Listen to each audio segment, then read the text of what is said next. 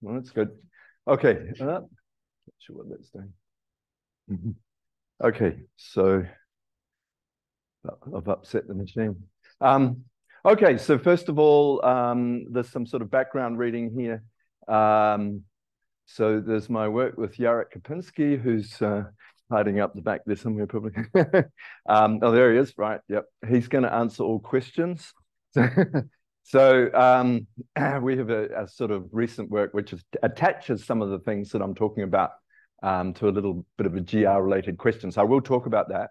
This um, article with Curry, if you're you know, genuinely interested in, in, in trying to understand more about what I'm talking about, this is, uh, this is an expository article, which is, you know, it has the word introduction in it and conformal and GR and so on. So it'll, it'll um, overlap quite a lot with what I'm talking about, but not everything. Um, and then these are sort of some of the, um, you know, background places where things were developed and so on. Okay, so let's get started. Got various pointers here. That didn't work.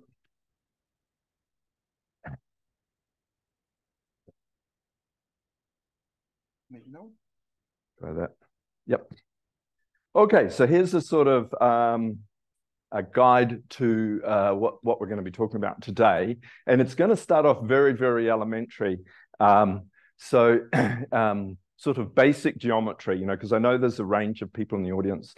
Um, and I wanted to make contact with, with people who are, in a sense, beginning. But also, um, even if you're sort of um, regard yourself as a, as a sort of tough guy or tough person and you already know all this stuff, I think it's worth just sort of listening in because I want to develop a perspective. And the things that the elementary things I'm talking about at the beginning will will resurface. Um, so, so we're going to talk about basic geometry, um, and then the the the sort of sort of theme is going to be to do with compactification. So the, the, the idea of compactification or the need to compactify and so on is going to drive why we're looking at conformal geometry. Um, and so we're going to then talk about conformal geometry and this thing called tractor calculus, um, and then um, what I call the geometry of scale, and then how you use that to do lots of things, including compactification. Um, okay, and then there's a picture that you've probably seen before.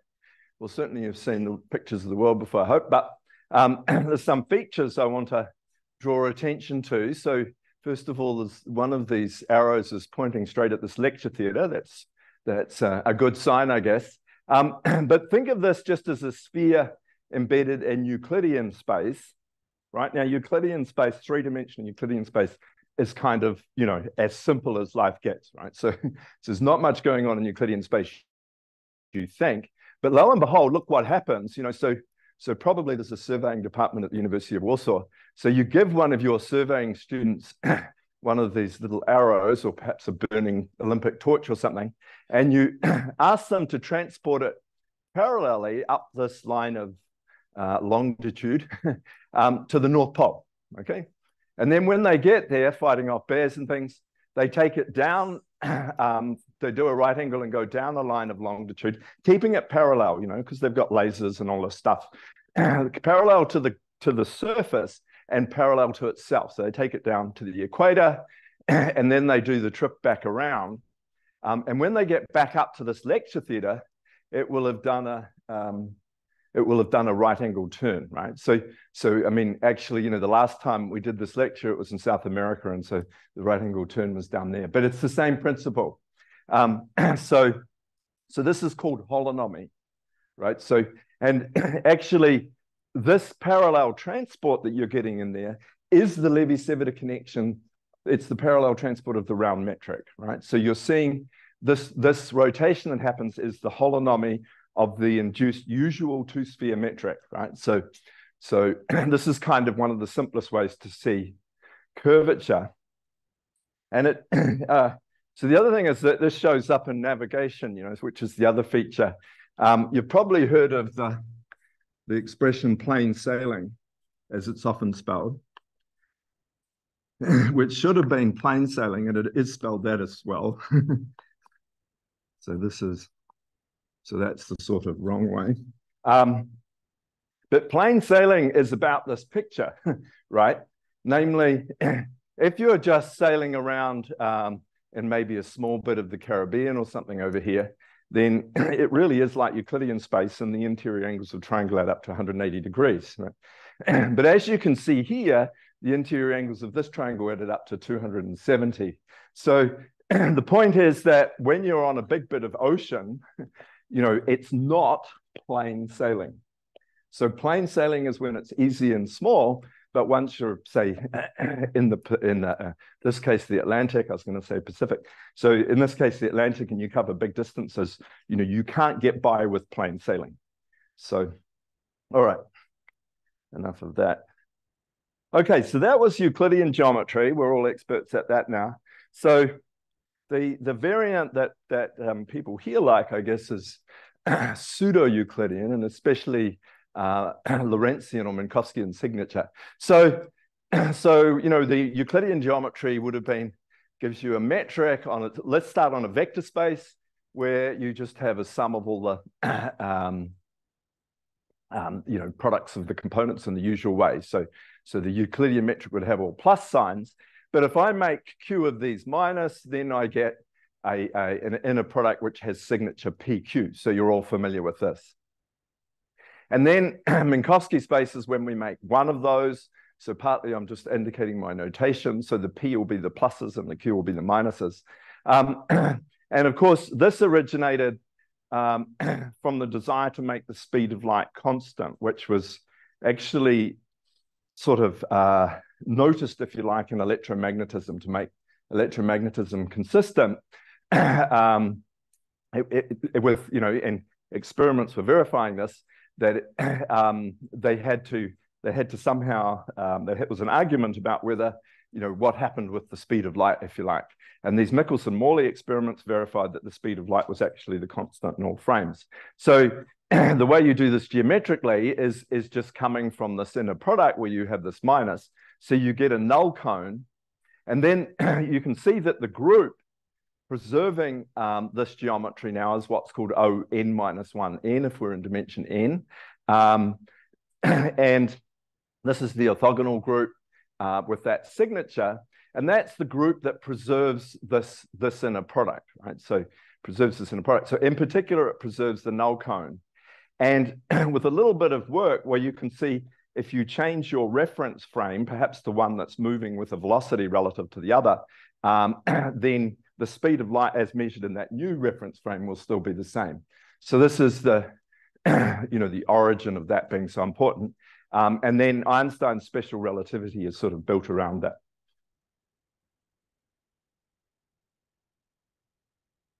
Okay, so now, um, now we want to move to sort of genuine um, sort of uh, pseudo-Riemannian geometry. So Minkowski space is a flat space, so that's that's a sort of simple picture. It's like Euclidean space, but we have that Lorentzian signature metric.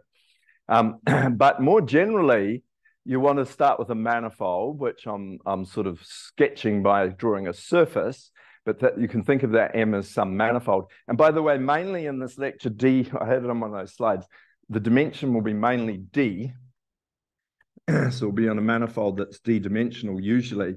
Um, but if it has, so d is n plus one, and the idea is that the boundary, when we have a boundary, will be dimension n. That's where the notation's coming from. Okay, but here we just have a closed manifold, a manifold without boundary. And what's the pseudo-Riemannian geometry? Well, it means that the tangent space at every point on that manifold is going to have um, be just like the previous page, right? So it's going to have a inner product that has um, one of these pseudo-Riemannian metrics. So in a pseudo-Riemannian inner products with, with P pluses and Q minuses, if you like. Okay, but it, but but now it's in a point-dependent way. So each tangent space is like that, but the the actual inner product's allowed to be point dependent. And so what you get is a metric on the tangent bundle. So Maciek was represent talked about bundles yesterday, sorry. So the, the tangent bundle is the union of all those tangent spaces, but then it's self-given an obvious manifold structure, which is inherited really from the underlying manifold in in a sort of easy way, right? So that, for instance, vector fields on your manifold that are smooth become smooth sections of this tangent bundle. And that's how you define the smooth structure on the tangent bundle. okay, now, a sort of important point, right? Because you're going, oh, hum, yep, we know all this. Um, but here's something you also know, but let's think about it carefully. So when you want to do um, geometric analysis, you know, what do you do? Well, you say, well, okay, G determines a unique connection, and it's called the Levi-Civita connection. So that's that's the unique torsion-free connection um, that that preserves the metric, right? So so the important thing is that um, even if you don't know what torsion is, that this G somehow uniquely determines a connection. So a connection is, you know, if you like, a rule for differentiating uh, vector fields and tensors and so on, or it's this parallel transport, like we we talked about on the on the surface of the Earth before for our surveyor carrying the torch. Um, okay, and then so the metric determines the connection. Um, and this is a way of transporting vectors. And then this gives a notion of curvature, right? So the Riemannian curvature, which again, um, I'm even more sure you all know what that is in one sense. So you've been calculating that um, by, by commuting these covariant derivatives.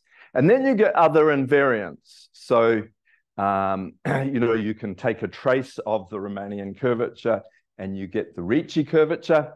Um, and then you can take a trace of the Ricci curvature and get the Ricci scalar.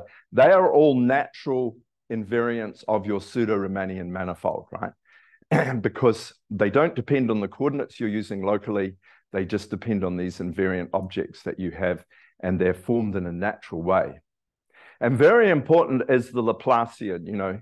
Um, you know, most most geometric analysts will be suicidal if they don't have a Laplacian. So they got to, you know, that's the first thing they want to talk about is the Laplacian, its, its spectrum or the wave operator if you're in um, Lorentzian signature or the, what do they call it, ultra wave or something like that, if you're in uh, higher signatures. So, so these are all important objects and they're just determined by the metric. Okay, so I want you to just remember that. Okay, so now let's come to the sort of motivating problem. So um, suppose you're interested in pseudo-Riemannian geometry or, you know, space times Lorentzian geometry or Riemannian geometry and so on. Um, but, you know, what happens if your, if your manifold is sort of infinite, right? So everything will be smooth in this talk, but you have a, a, a manifold indicating perhaps some topology, but it, but it goes on infinitely, um, by which I mean it's non-compact and let's say geodesically complete, right? So, so the so the um, you know geodesics are straight lines. We just talked about a connection. So if you had a metric, then you get the Levi-Civita connection, and then you can look at curves whose velocity satisfies this equation, and that's geodesics. Um, and if those continue, um, you know, for all time, these curves, then your manifold's said to be geodesically complete. So, so if it's if it's closed manifold, a manifold without boundary, um, then it'll be geodesically complete. But if it's an, a sort of open manifold in this sense, then geodesically complete means that these geodesics can run for infinite time out that way. Okay, so what are you going to do about that region out there? okay, so, so the question is, can we get a sort of good notion of infinity that's mathematically useful? And, and then supposing, you know, one of you comes up with that, then can you work out what's the geometry on that infinity? You know, what's it going to mean? Because geometry at infinity, right? So, so how are we going to make sense of all this? Um, and then supposing, you know, someone on this side of the room does that, then someone on the other side of the room tries to do it, are they going to get the same thing? Is it, is it sort of in some sense unique, depending on how you set things up? So there's all sorts of questions like that. So we want to sort of, we're obviously not going to answer all such questions because it gets quite hard, believe it or not. Um, but we want to at least uh, give you the tools to start thinking about it and to see some answers. Okay, so what, let's be a bit more mathematical. So what is a compactification? So just in topological sense, it's, it's a, you know, you compactify a non-compact topological space, which is what we're thinking of as large, um, by putting it as a sort of homeomorphic embedding, you know, so, so a map that's injective onto its image, uh, so obviously injective, so, so it's a homeomorphism, so, um, and it, it's a homeomorphism onto its image, but um, an injective map, and it should be open and dense in there. Right? So that's what we mean by a compactification. So it's open and dense homeomorphism like that. Okay, so uh, I like the laser, but I have to turn with this.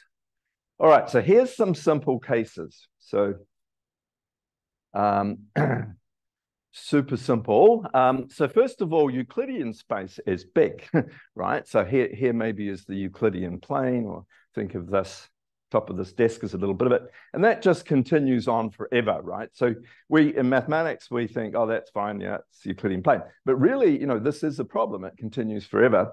And to see it's a problem, suppose, uh, for instance, that you were trying to do some applied math problem and you wanted to put a grid on it and have things evolve in time.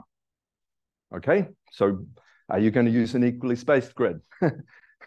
Well, no, right? Because you have an infinite number of grid points straight away. And that's the first hint. And the, the same problem happens in analysis, right? So, so if you're trying to evolve things on Euclidean space, you're going to have to think about what to do with the infinite region somehow, right? But that, you know, and this is sort of um, not the sort of problem I generally want to think about, but it, but it does clearly illustrate that there's an issue, right? So, so, the, so I'm more excited by the things that come up when you start dealing with it. So we'll talk about that. But um, so, okay, so one way to, to fix this being too big is to add one more point, right? So that sounds a bit contradictory, but um, this came up in Maciek's talk yesterday. You can do stereographic projection, right? So, so now here's the infinite plane. You set your medicine ball on the plane, right? So here it is. And then you take the North Pole, you take the straight line um, going from the North Pole through the sphere and landing somewhere on the plane. So that is going to give you a one-to-one -one map between the Euclidean plane and the sphere that just misses the North Pole. So the North Pole becomes your infinity. Okay, so first of all, now you can go and have a beer because you've compactified Euclidean space, right? So you can celebrate for a little while. But then you should come back and think about geometry. And I haven't put formal exercises in here, but here's one in the making. so you, you know, you can try and show now that that's actually conformal. So Maciek was talking about it in real dimensions two, complex one, but, but it works in all dimensions. So, so this is always a conformal map, um, meaning it's going to preserve the angles. It obviously doesn't preserve lengths, right? That was the, the infinite lengths are what we were trying to get rid of, but it does preserve the angles. So, so that's that's on the one hand really great because actually, in a sense, in a metric, nearly all the information's in the angles, right? So we're in Euclidean signature. Not much is in the length. So uh, I don't want to uh, I don't want to argue about that or think, but but let you think about that. So so this compactifies Euclidean space, hardly losing any information. So that's very very good, right? It's also a bad compactification for some for some reasons. Does anyone have an idea about why it might be bad? No, no suggestions? Uh, I mean, What's that? We, we don't know which direction For instance, yeah, yeah. But we'll come to it later. What about group actions? You know, because if you have a group acting here, you can transfer it back to a group on the sphere. And then you would like to extend that to infinity, but you're not going to have much, yeah, I mean, which you often can, but you're not going to have much information about that group action because you've just got one point, right? So the groups are going to act trivially on that. So that'll be, you know, so for some purposes, it's a really terrible compactification, uh, but for others, it's it's very good. So it depends what you want to do. Whoops, not that.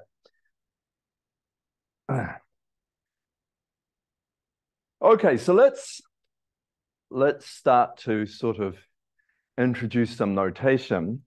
Um, so, so for us, we, we're not just uh, topologists. we, we will want our, our, our, our compactification to be smooth generally. So, so for us, a compactification is going to be some smooth embedding of a manifold um, into a closed manifold, um, which is um, injective, and so that M is open and dense. Um, and M bar might generally be something like a manifold with boundary and, and so on. Could be quite complicated. For us, we will, we will mainly want to think of it as just a manifold with boundary. But actually, mostly what we will need to think about will come out automatically when we start putting the geometry in. And that's one of the main points that I want to get to. So we, we don't have to sweat too, too much.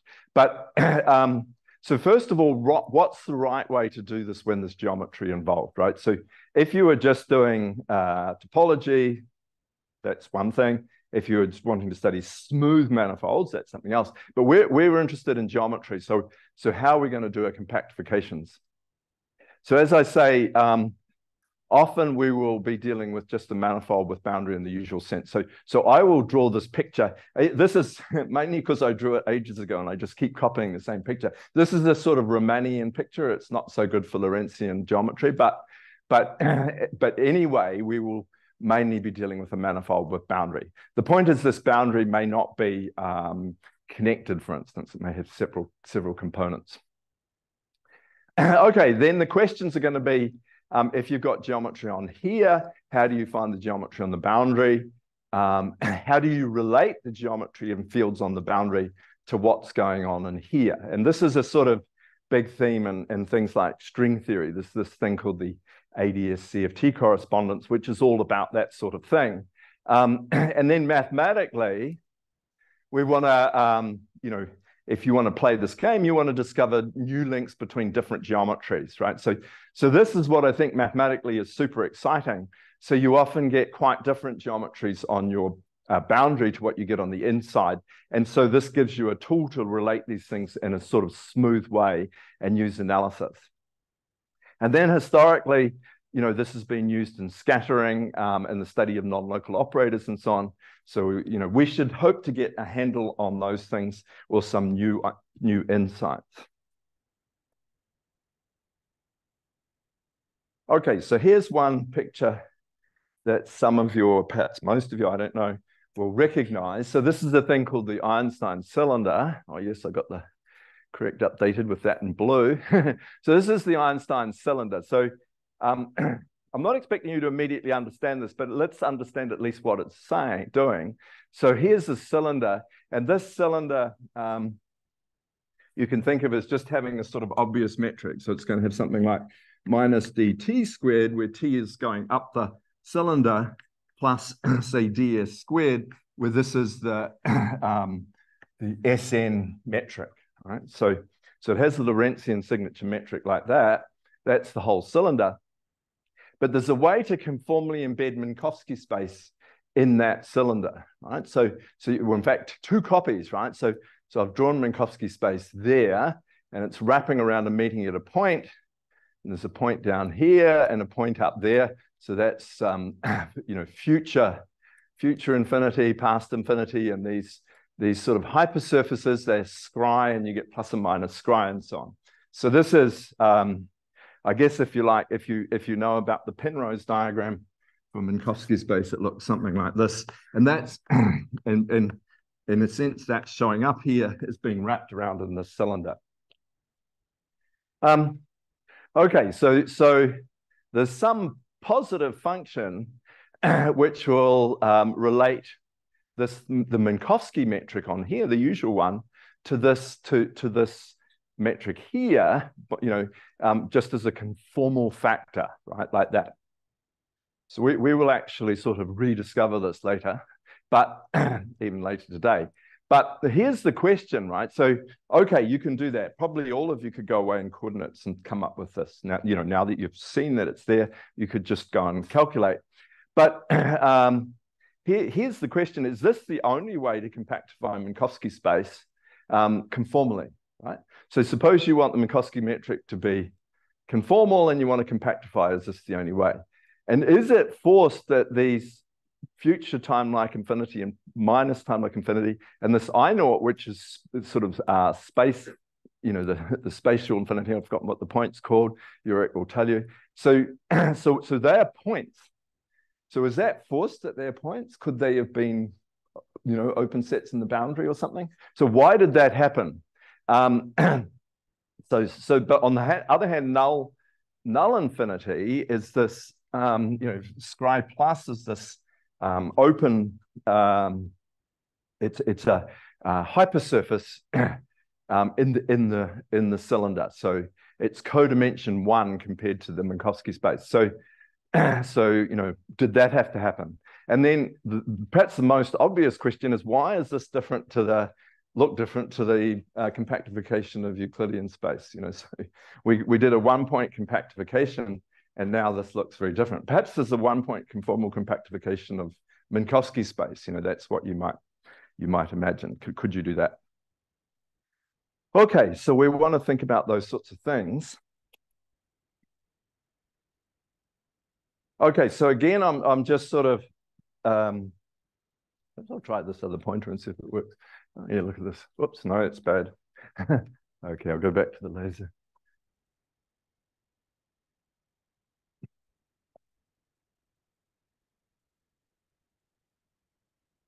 Okay, so so here was something that um, I, I, don't know if Penrose first wrote this down, but there's there's a notion, and I don't really want to talk about this in detail, but asymptotically simple that you'll find in the literature.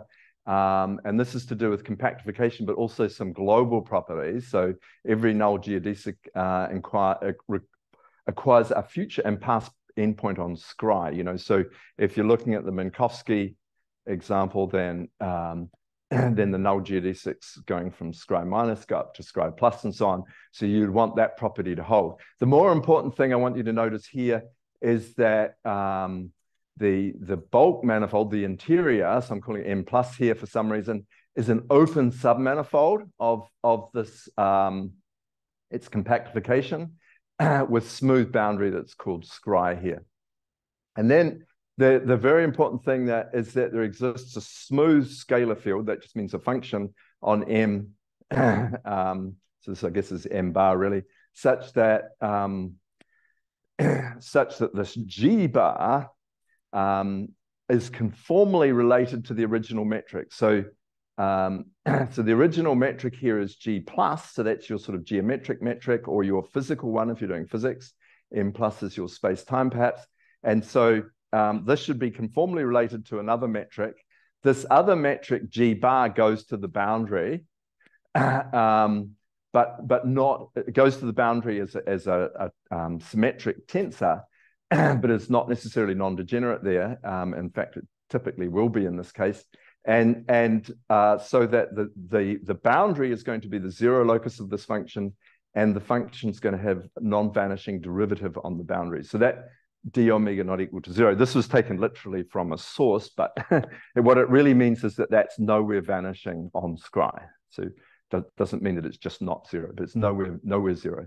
It's not vanishing at every point. Um, okay, and then this is called asymptotically flat if the Ricci curvature um, is vanishing in the neighborhood of scri. So this is some sort of definition that's in the literature. So, so the question is, how do we rediscover the Einstein cylinder and why would we come up with something like that? So lots of questions. okay, so okay, so I want to talk about uh, first of all um, the most simple, perhaps the most simple and and uh, easy to, apart from Euclidean space, which we've already done. The the next most simple one, which is quite different again, is the compactification of hy hyperbolic space.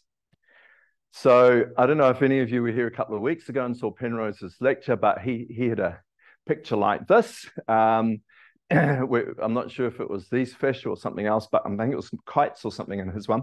But anyway, this is this picture is called Escher's circle limit, and it's a picture of hyperbolic two space. So, so the idea is that these in the metric of that space, all of these fish have the same size.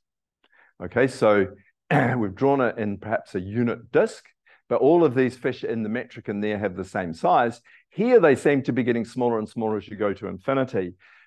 um, and that's because we're, we're representing it by a conformal transformation um, inside the unit disk in, in Euclidean space. and in this case, when you, when you have this picture, the boundary is giving us a compactification, right? So um, the, the, in this case, it would be just the circle that's giving us um, the compactification, a conformal compactification of hyperbolic two space. So let's do it over here with the math. So here's the Euclidean metric, right? It's just the sum of dx squared. All right, that bit there, that's the Euclidean metric. And then I've multiplied by some conformal factor. The, the conformal factor is 4 over 1 minus uh, x squared. So this is x dot x. So this is the ordinary Euclidean dot product. okay, so when x, uh, when you're on the boundary of the unit sphere, this bottom line is going to be 0. Yeah? So, so starting with the Euclidean sphere metric, this g plus is going to become infinite at the boundary. Right? So this metric G plus is this hyperbolic metric, right? So if you calculate the curvature of this, it's negative, um, and the scalar curvature is a minus one. and um, what's happening here to make this picture is that you know the, the fish are all the same size according to G plus, but then if you multiply through by this conformal factor put on the top line, right, then um, that will that will shrink them down as you go to the boundaries. So that's really where this picture's coming, and you'll end up with the with the disk. Right now, this is conformal because it's just um, you know on the interior positive function times this metric gives you that metric. That's what you mean by conformal, and angles are preserved, um, and and circles get mapped to circles. So these these these curves are actually the geodesics or the straight line in that, you know, trying to be the straight lines, satisfy this geodesic equation in the hyperbolic space, and they meet this boundary at right angles and so on.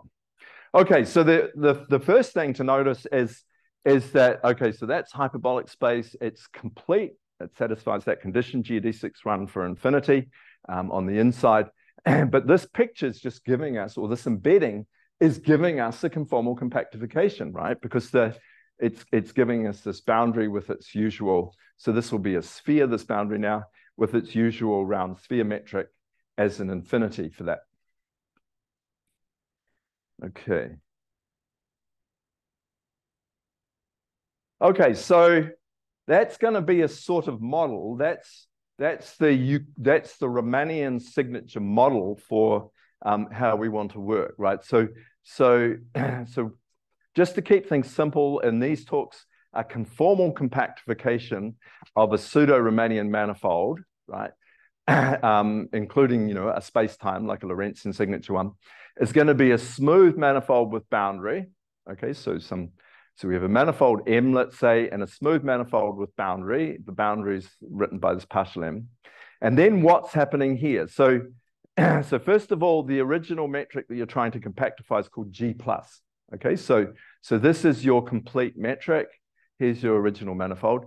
We want another metric conformally related to the to, to G plus. Okay, so it's going to be, um, I'm doing it as R to the minus two of this other metric gives us G plus back again, right? So G plus and this G bar are conformally related. But not only that, this R has to be a defining function for the boundary. So this is like in that asymptotically simple definition I gave you, um, we're going to require the same thing. So this function that conformally relates the two metrics is a defining function for the boundary. What does that mean? It means that the boundary is the inverse image of zero. So in other words, the boundary is just the zero locus of that function. It's not zero anywhere else. and the derivative of the function is nowhere vanishing on the boundary.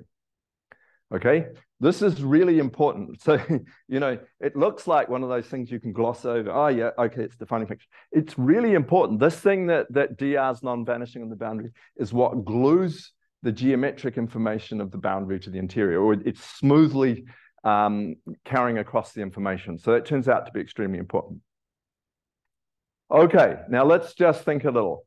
I always, you know, imagine imagine that you're a sort of cave person reinventing this stuff, right? So you're in your European cave and you've been out hunting mammoths or something like that. You, by the fire, you do maths in the evening, right? So you come back and you and you've done this, and then you say, "Well, hang on, you know, so I'm really interested in G plus, right? I'm not interested in G bar. I'm really interested in G plus. This G this G bar is just a tool for helping understand it. I'll compactify the space. so that means that I could change my mind about a defining function, right?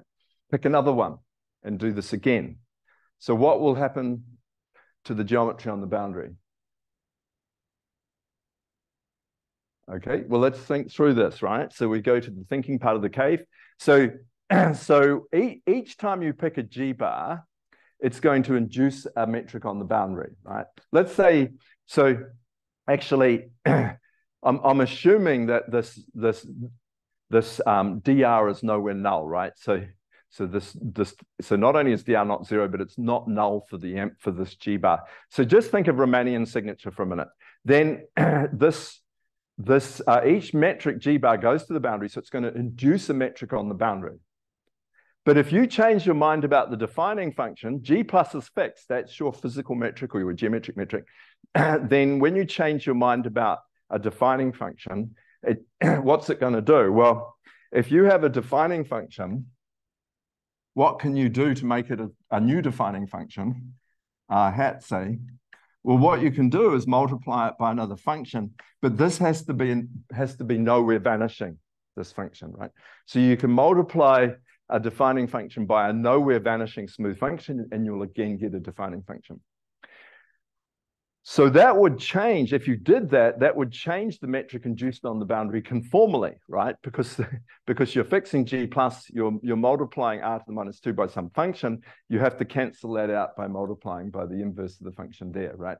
So, so you'll be changing the metric that you're induced on the boundary.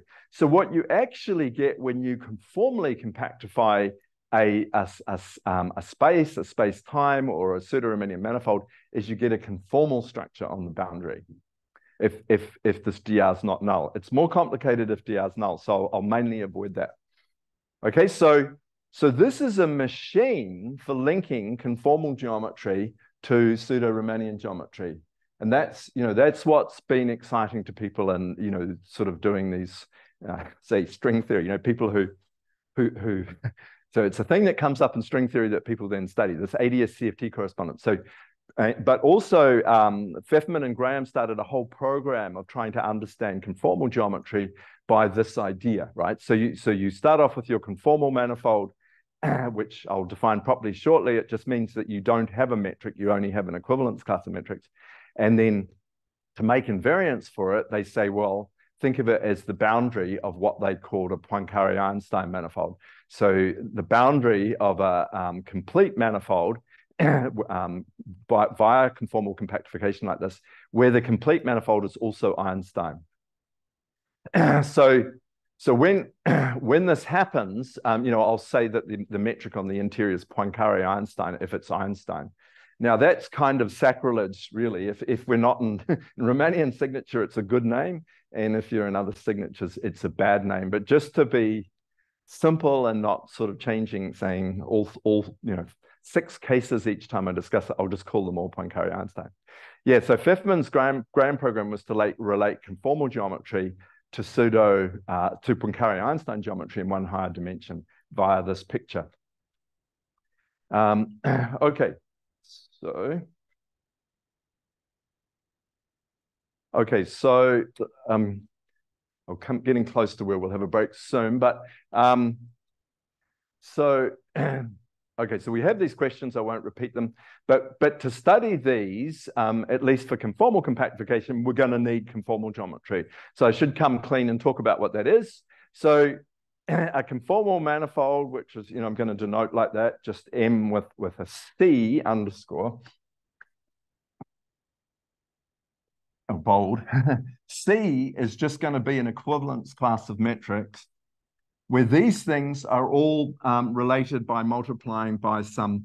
Um, so if you have G and G prime and G are in this equivalence class, then they're related by multiplying by a positive function.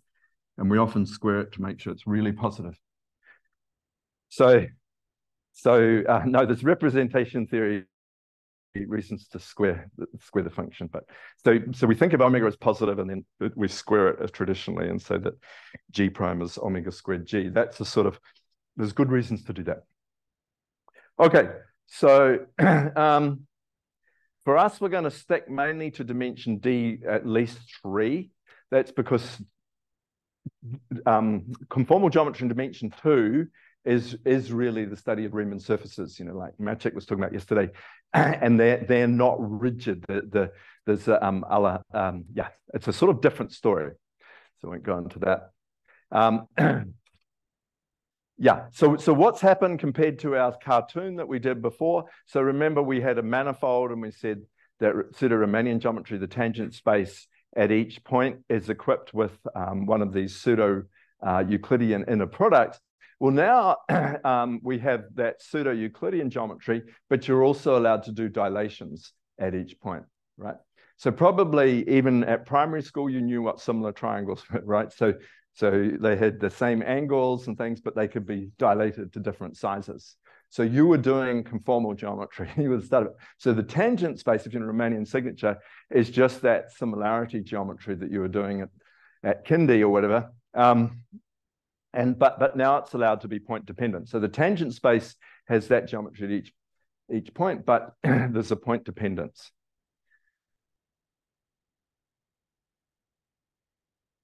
Okay, so so we you know we we get uh, excited about conformal geometry. And then apart from compactification, why should you do this? Uh, well, one thing is that, you know, and very relevant here, um, as I've already mentioned, well, no, I haven't mentioned, but the equations of electromagnetism, the Maxwell equations, are not just Lorentz invariant, but conformally invariant. Okay, so, so the equations of electromagnetism do not see the metric. they only see the conformal structure. You know, so this is a, a sort of important point. Now, you should also think of it really important if you're a physicist, because you think, well, hang on, it was the, the Lorentz invariance of, of those equations that, that drove people to discover special relativity, right? Yep.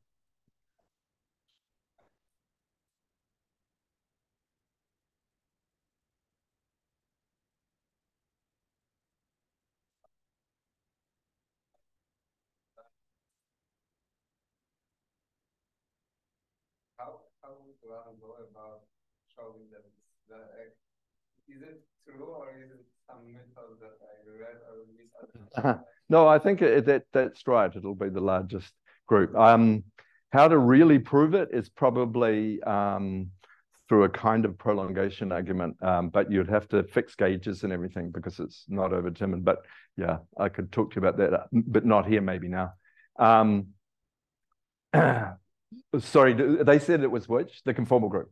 Yeah, yeah. yeah but anyway, what I'm the point I'm trying to make here is that that um, you know this as a physicist, you go, well, hang on, Lorentz invariance made us think about uh, special relativity. Then then maybe the universe is conformal, right? Because because it's um, they're also conformally invariant, and actually that's in dimension four, and which we sort of think we're living in. And then the Yang-Mills equations are also conformally invariant dimension force. So, so the you know the weak, the strong force, and so on. That that's also coming from a conformally invariant connection, right? And so you need this Higgs mechanism and so on to even break that conformal invariance. So, and give you give you mass. Um, so the the ADS-CFT correspondence in string theory, I've mentioned that this is this uses conformal geometry a lot. I won't talk about that in detail. Complex analysis. So already um, Maciek talked about this yesterday. Um, Riemann surfaces are two-dimensional conformal manifolds. So although they're kind of different, they're also linked. But I, I won't really talk about the two-dimensional case, but they're conformal.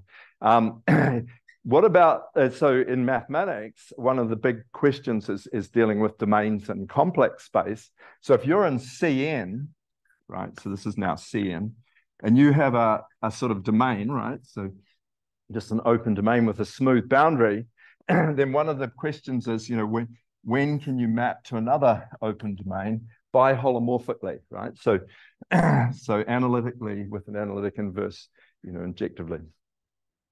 So, So when's there a biholomorphic map between these things? Well, actually, you can say, you know, you can look at the boundary of one of these things and what happens to the boundary. And it turns out that under a biholomorphism, a certain amount of geometry of that boundary has to be preserved. And that's called CR geometry. CR comes from Cauchy Riemann, but you shouldn't just call it CR because it's sort of a different thing. So CR geometry is extremely closely related to conformal geometry. So, so, so um, if you want to study CR geometry, you should also study conformal geometry. But, um, but even more importantly, even if you're doing Riemannian or pseudo-Riemannian geometry, it determines the conformal structure. And it turns out that that tends to have a deep role um, in the problems that you're trying to do. You know, so if you, if you once you realize that, you can see that it, it's it's happening um, even if you hadn't noticed it before. And then it's as I've already said, it's important in scattering and for us for compactification. So those are those are some words from our sponsor. okay, so um, okay, now there's no distinguished metric. So the, the real problem is, so we're starting to do stuff now more. So remember when we have a Riemannian manifold, as I said at the beginning, the, the metric determines the connection and then that determines curvature, Laplacian, and so on. the, the, um, now we're not going to have a metric, so we're only going to have an equivalence class of metrics. so uh, we can rescale by positive functions. And for that reason, um, we're going to need to use density bundles. So the point is that, well, how do they arise? So the top exterior power of the tangent bundle is a line bundle, right? So the tangent bundle, if we're on, if we're in uh, d dimensions, has rank d. So, so if you take the d-fold um, exterior power of the tangent bundle, you're now down to rank one, right? So it's a line bundle. It's not necessarily oriented. It's oriented if and only if the manifold's oriented, orientable. Um, but if we square this, then you get a bundle that's oriented canonically. So once you square that, you get a, a line bundle that's that's oriented and so trivial, a real line bundle, and you can take roots of it. So um, we call that bundle, let's say, curly K. And when you take roots like this, this will give us um, what we'll call conformal densities of weight W, right? So actually, none of that was to do with conformal geometry yet. But because you don't have a metric, you need to use these. Why is that? What, well, how would a metric sort of get rid of those? Lots of people answering questions today. Well, the metric determines the volume form, which trivializes these bundles, right? So they go from the picture basically. So when you're in Riemannian geometry, you don't have to think about these. But now we only have an equivalence class of metrics. So we don't have a fixed canonical uh, volume form to trivialize these bundles. So we have to keep track of these. In conformal geometry, they're just as important as the tangent bundle and everything. Now, here's, here's the sort of thing, I don't want you to get hung up on it, but I want you to absorb that it's a thing called the conformal metric.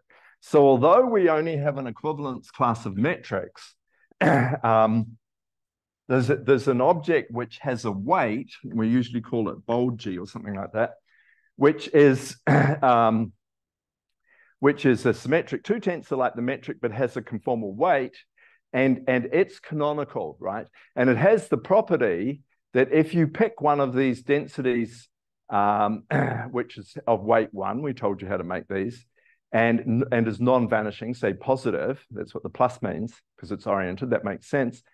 And then when I take sigma to the minus two times this weighted object, then I get a metric from the conformal class. Okay, so conformal geometry has canonically one of these. It's called the conformal metric. And you can think of it, if you like, that when you take its dth power, it's the thing that's mapping you by taking, you know, by, by hooking in indices from this top, top exterior power squared of the tangent bundle to this bundle uh, curly K. now, once you do this, there's a one-to-one -one correspondence between sections of that line bundle and metrics from the conformal class. So that's sort of how we often pick our metrics from the conformal class. And we, we so we call these sigmas scales. They're picking the metric, they're picking the scale. Um, now, the important thing that I, main thing I want to get from this page, apart from the definition of those things, is that um, the Levi-Civita connection, so, so when you get a metric from the conformal class, it came from one of these sigmas. that Levi-Civita connection will preserve sigma. It will, it's parallel. So sigma is parallel for the Levi-Civita connection it determines. And the reason is that, um, that the way the Levi-Civita connection acts on these densities is just coming from the way it acts on top forms via this conformal metric, if you like. So that means that the conformal metric has to be parallel. And since the conformal metric is parallel, uh, yeah, for that's parallel for the Levi-Civita connection by definition, this one's parallel because that's the definition of the Levi-Civita connection. And then that means that the, the sigma has to be preserved by that. Okay, so there's a, it's just a sort of calculational uh, thing. What does mean this? If there is T star M and then bracket and two. Oh yeah, okay, good point. So when I write, you, you know what it means for the audience, right? So so we have T star M, that's the cotangent bundle. And then when I put two, that means T star M tensor densities of weight two. Right. So thanks. Yeah, I should have had that one. Good. Any other questions? Okay. So now coming to this point I was saying over here, that the next problem is, um, since there's no canonical metric on the tangent bundle in a conformal manifold, there's no distinguished connection on the tangent bundle, right? So, well, remember so, so what happens, right? So, so when you change your mind about the metric in a conformal way, so, so if g hat is f squared times g, where f is some positive function, these are vector fields, then this is how the Levi-Civita connection transforms. All right. Now, the, getting this formula is very easy. You just use your coordinate formula for the Levi-Civita connection in terms of the metric, you know, the derivatives gij, comma, you know, so on. Yeah, there's a question.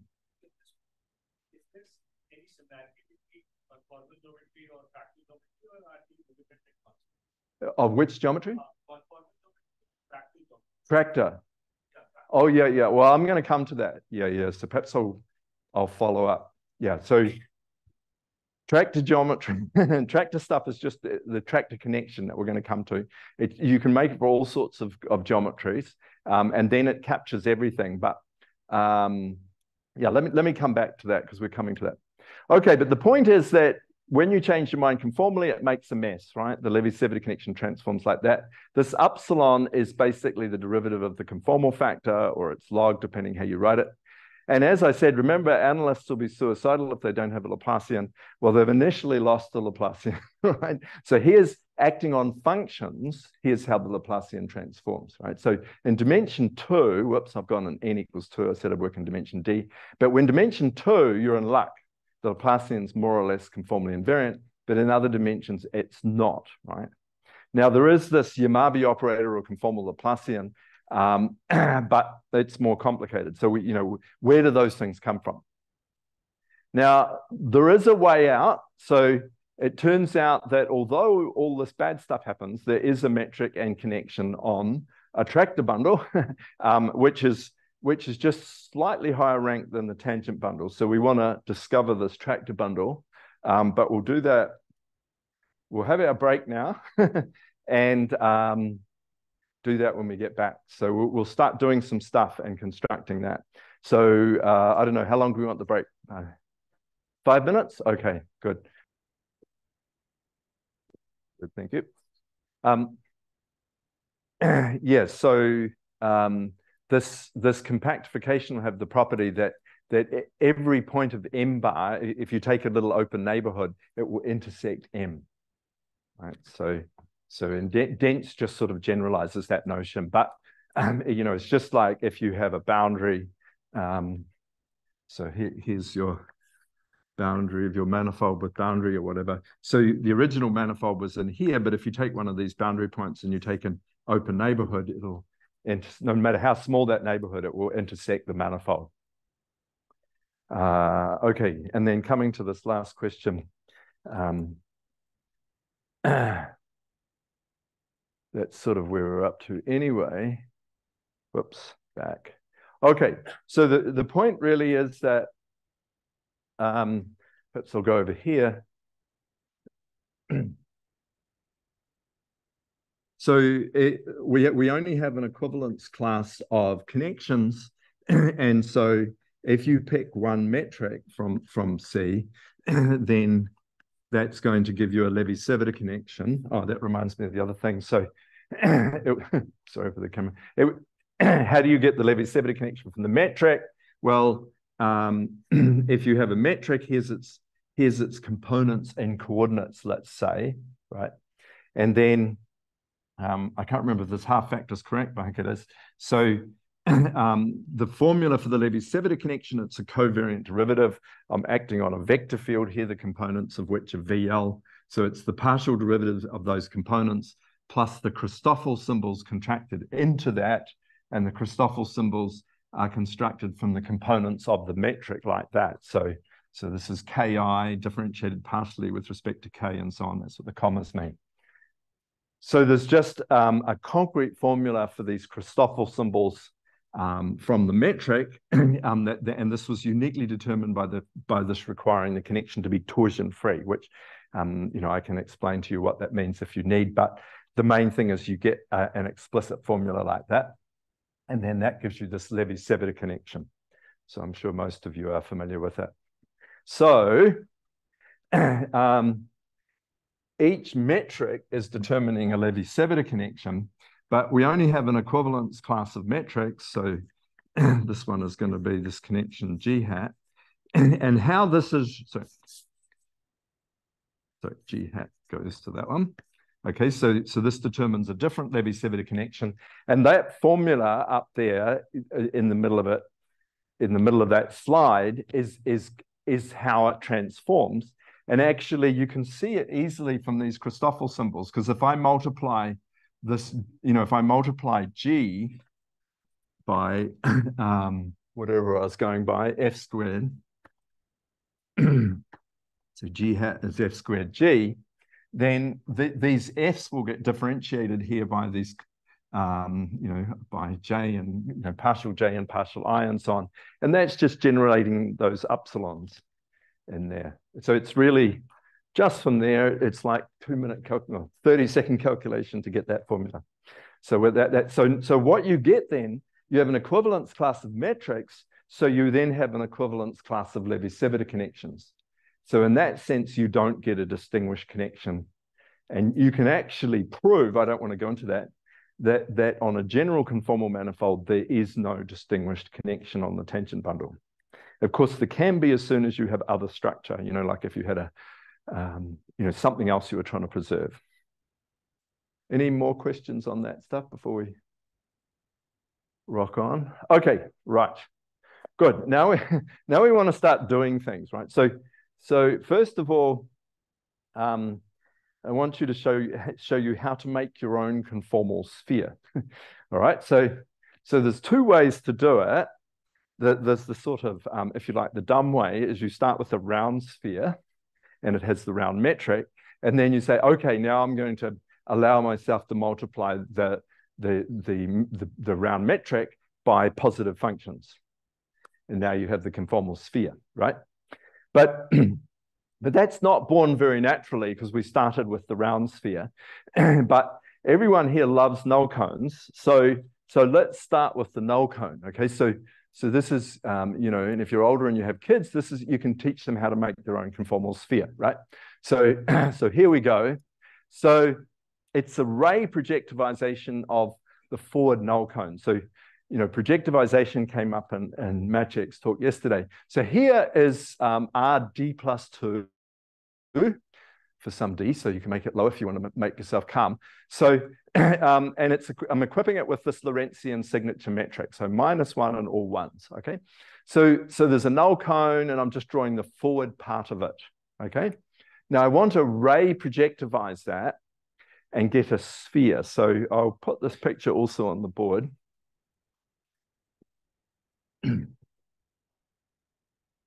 Because we, we're going to need this picture quite a lot anyway.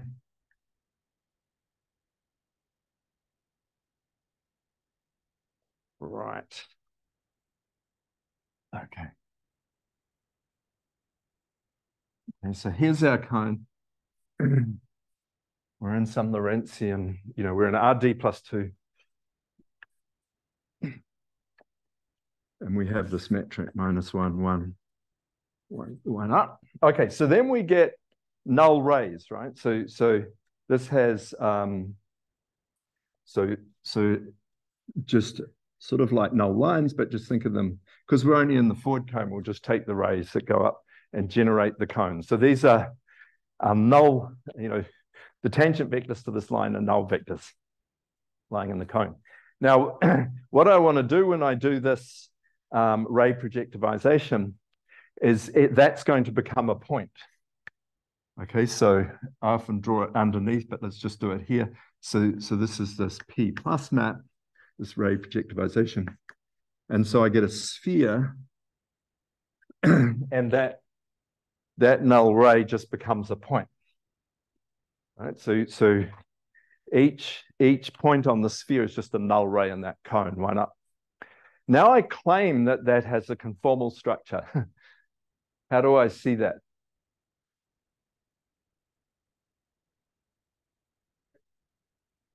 Take sections, exactly. So this cone is a ray bundle by construction over the sphere I just made. So I take sections just as I would take sections of a bundle. So, so I take a, a map from here to uh, back to here, which picks a section.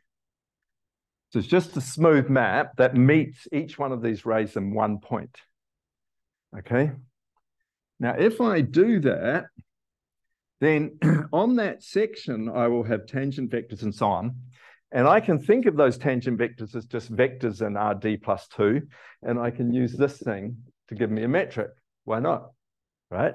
So each section, let's call that section sigma, is giving me some metric on the sphere, right? By identifying the sphere with its image in this section. but then the point is I didn't have I didn't have a canonical section, so I have to look at what happens when I do a different section. And I, then I get a different metric. So I have G sigma and I have G sigma tilde or something. And the point is, it's easy to show that these are conformally related. And so I didn't have a section to start with, but if anytime I pick a section, I get a metric and any different choices are conformally related. So I get canonically over here on the sphere a conformal structure. and the conformal structure includes the round metric because I take the most obvious section here, which, you know, I just cut it off at, at, at t equals one or t equals, you know, whatever. And then I get a round sphere with the usual round metric induced. And it's easy to show that. Okay, so that's not related to any of the text written there so far, but but we, we see here that the, the conformal sphere is just born from this null cone in a nice way. Now, okay, so then I go, oh my God, I only have an equivalence class of metrics. I don't have any connections, and you know, I don't have my famous Laplacian, and um, you know, how am I going to survive? Right? so, but so we keep looking at the picture, and we see that actually um, we do get a connection on on, on a higher rank bundle on the sphere. so really it's just coming from affine parallel transport in RD plus two. So RD plus two is a vector space, so we know what parallel means, right? So think of it as an affine space now corresponding to that vector space. And so you just know what parallel means here in, in RD plus two. That's what you did in your undergrad, right? So, um, so in particular, I can restrict this affine parallel transport to, to, to this cone, and I will know what it means for, for vectors in RD plus 2, or the tangent space to RD plus 2. Restricted to this null cone. if I take that vector bundle on the null cone, then I know what parallel means for them, right? I could, I could parallelly transport along curves in the cone using this affine parallel transport. Now that's not quite a connection on the sphere because the sphere is a projectivization of that. So this is restricted to the null cone. So what I do, ah, what I do next is I say, I'm going to identify vectors in RD plus two up the null cone if they're parallel, you know, related by parallel transport and on the same null, you know, and on the same null geodesic. I'm actually going to identify them. I'm going to mod out by that equivalence, right? So these two vectors are equivalent, or say, say these two, because they're on the same null generator and parallel, if they're really parallel. They're the same length and everything, they're just parallel, right? So then, okay, so if I mod out by that, but otherwise use the parallel transport coming from RD plus two, it's easy to see that we get a bundle on the sphere, let's call it curly T, which has a connection just coming from that parallel transport.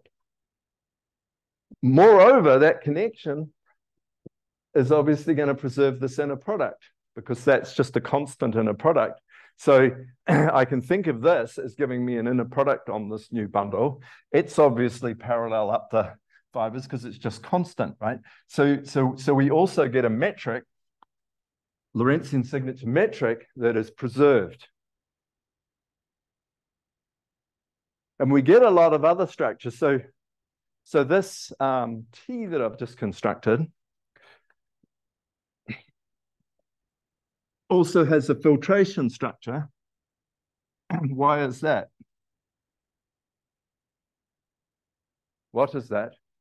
you want me to say what, and then you'll say why. So, so, so we so so we have this T, right, which is coming from basically the tangent space to RD plus two, restricted to this null cone, and then mod this equivalence relation that we say that things are equivalent if they're parallel and on the same generator, right? and we got a connection and a metric. But it also has a filtration structure. So um, it has something that we're going to see shortly is, is um, like this, and then something like this. Let's say the tangent bundle with some weight. And then something like this. Okay, so what this means is we're going to get a line subbundle. um, we're also going to get a subbundle of rank, say M has got rank D, we're going to have uh, a subbundle of rank D plus one, and then we've got the total thing. Where's it coming from in this case?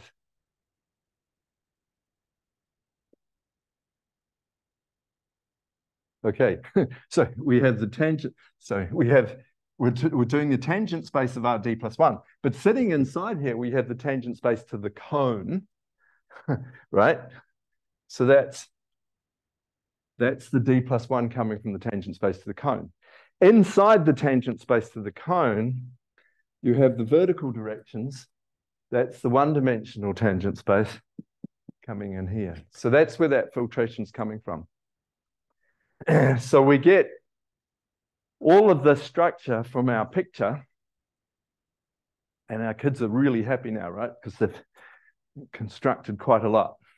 Okay, so, so we get all this. Now, the point is, this actually works in the curved case, and this, you know, well, works. So there's a generalization of this to the curve case. But, oh, so first of all, I'm going to talk about the, just to, you know, because to make the GR link. So what about, so that was that was doing the Riemannian signature case.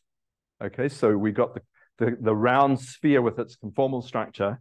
But since we're we're GR people here, we we we say, well, I want to get the Lorentzian one, right? So so draw me another picture. Well, I'm not very good at drawing this one, but it's the same idea. So now now I take this, you know, with an extra minus, okay, and so that becomes my inner product.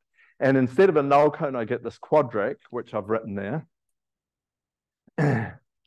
um, and the quadric, I've put the minus things on the other side, which is so I see that this is x naught squared plus x1 squared equals the rest of them summed up squared, right? So that's my quadric now. And of course, um, you know, to find out what that is, I take a section. In other words, I take x naught squared plus x1 squared equals one, why not? And that'll force the other side to be one. And then you see that it's just S1 cross Sn topologically, right? So, um, so the ray projectivization of this quadric is S1 cross S3. And now you make the tractor bundle in the same way. The picture's harder to draw, but you just get the same thing, but with different signatures. Does everyone see that? Good.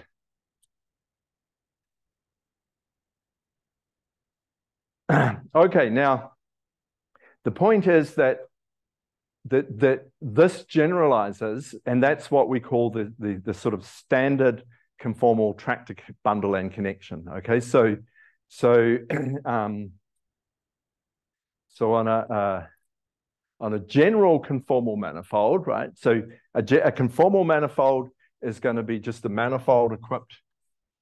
so manifold of dimension d, at least three for us, and it's going to have um, a conformal structure, so an equivalence class of connections. Then we get one of these um, conformally invariant connections. And this actually dates back to the work of Cartan and Thomas. So Cartan really invented a connection on a principal bundle, which is equivalent to this bundle. Uh, and around the same time and independently, Thomas really, you know, he, he literally built it based on these sort of ideas. So so he he would have been drawing these pictures himself, right? So, but he he he sort of did it in coordinates um, in a bundly sense, but vector bundles were not really abstractly defined back then. So his his work wasn't well understood. But um, but anyway, so and this was sort of rewritten down um, in work with Bailey and Eastwood and myself, um, in in a sense inspired by Penrose's local twistor transport. The local twistor transport, which I don't think Maciek's mentioned yet, is, is the spin version of this connection, um, and especially in dimension four when it's, it's very simple. So you can do a, a type of spin tractors, which I won't talk about, but um, we'll, we'll deal with the, the representations that are sort of not spin, the rest of them.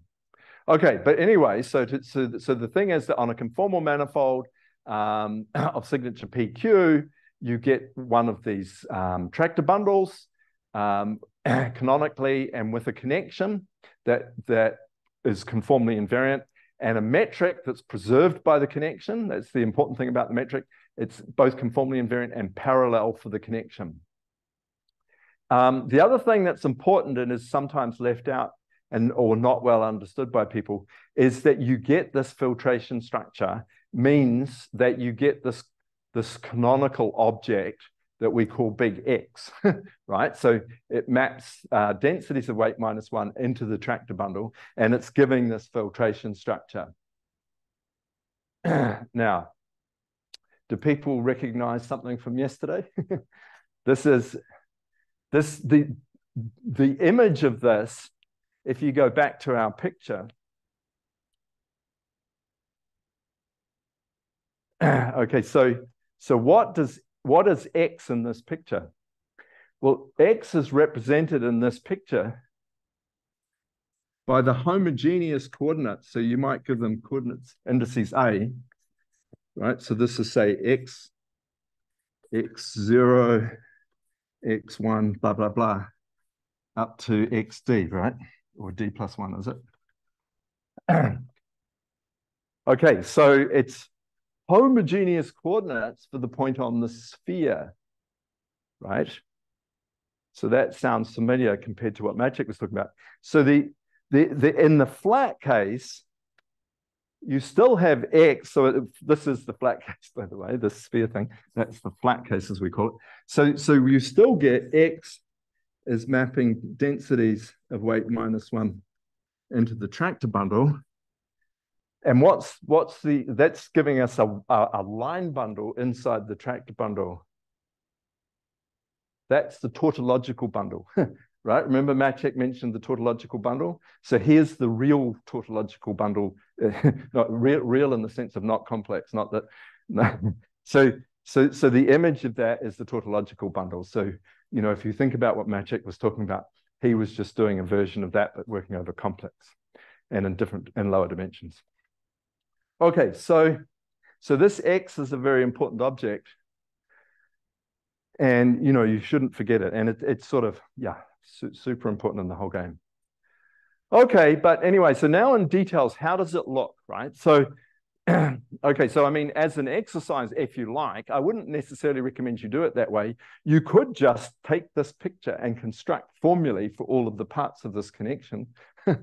um, you, you know, by, by sort of just splitting up the spaces and everything like that. I've told you what the parts are, right? And what you would find is that in, in a suitable adapted frame, right, which is based around this X, you would get these three slots, right? So this row is corresponding to the vertical direction, the mu row, that's tangent bundle to the cone, remember, and the sigma is the off the cone direction, if you like. So you would find that your formula for your affine parallel transport, when written down in terms of the metric on the round sphere or something, would end up looking like this.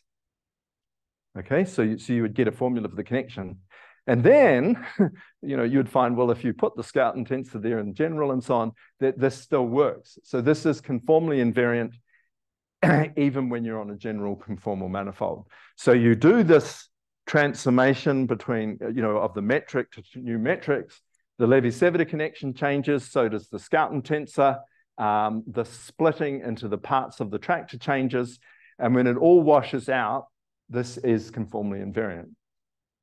Okay, so, so this is this quite simple formula is a formula for a conformally invariant connection on a bundle, and it only has slightly higher rank than the tangent bundle. It's, it's ranked two more, right? You've got these two more line bundles, right, as we saw had to happen.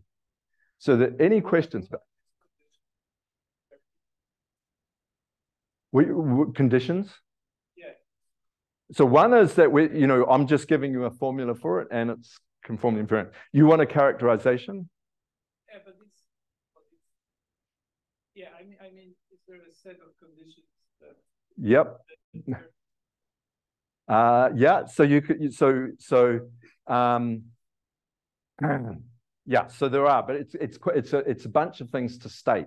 So so one of them is to do with this x, and if you have a connection that when it acts on this thing um, is then injective, in other words, every tangent vector um, get gets uh, um, you know when you differentiate x with in a direction in a tangent vector that that that is never zero in a sense. So it's injective on, on tangent vectors. Um, the connection should preserve the metric um, and be well related to this filtration structure. And then if its curvature satisfies the Lie algebra cohomology condition, it's del star closed, which is just like a trace-free condition, then this is the unique connection. So it, it, it's it's a, a, it's a bunch of things that I don't want to go into here, but I can dig them up if you want to. But it but it's um, you know it's all written down, and, and this is the unique connection with those properties. But here we're just constructing it, right? So we're just we're just saying, okay, uh, for instance, we looked at this model, we worked out a formula in the model case, and the same formula turns out to be conformally invariant in the curve case. So that's one way of seeing what it is. Um, or you can get it from prolongation um, of the, you know, of, of, a, of a certain equation, as you know.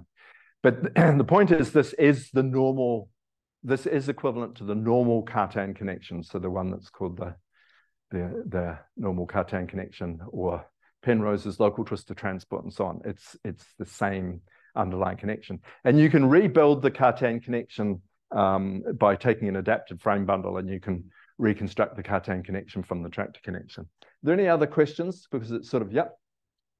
Uh, why you sometimes write the vector bundle as the Whitney sum, and sometimes you have this other like half Um, yeah, so the half sum is just to, to say that there's this filtration structure.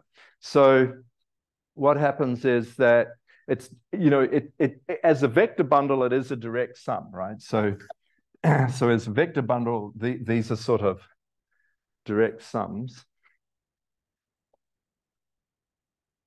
But geometrically or canonically, they're not. So if you pick a metric from the conformal class, then it's a direct sum and you get sigma, mu, and rho, right?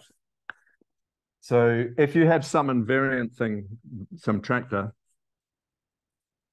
put the index down maybe, and you write it with one metric, you'll be like that. But if you change your mind to a conformally related metric, then you'll get um, some other thing, sigma hat, mu hat, and uh, maybe I will make I'll make this the hatted ones.